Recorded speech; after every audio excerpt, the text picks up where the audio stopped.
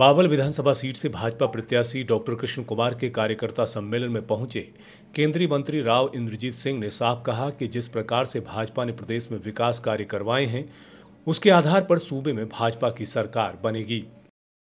Message यही दिया है कि भारतीय जनता पार्टी के कैंडिडेट को आप जिताओ।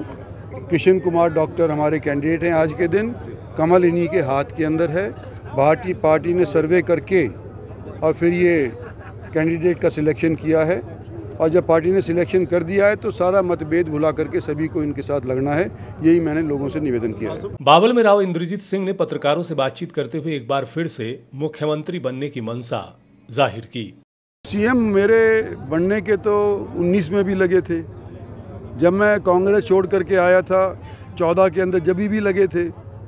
लेकिन दोनों बार पार्टी ने किसी और का सिलेक्शन कर दिया। इस बार किसका सिलेक्शन करेगी पार्टी मुझे नहीं पता लेकिन उम्मीद पे दुनिया ज़िंदा है। बावल से भाजपा प्रत्याशी डॉक्टर कृष्ण कुमार ने साफ़ कहा कि हल्के की जनता का उन्हें भारी समर्थन मिल रहा है। इस आधार पर वे जीत की ओर निरंतर अग्रसर हो रहे हैं। सभी कार्यकर्ता इकट्ठे थे उनमें बड़ा भारी जोश था और सभी ने एक मत होकर कहा भी हम भारतीय जनता पार्टी के उम्मीदवार को यहाँ से विजय बनाकर भेजेंगे और माननीय रविंद्रजीत सिंह जी ने भी उन्होंने से अपील की तो उन्होंने पहले कहा जी, हम तुम्हारे साथ हैं।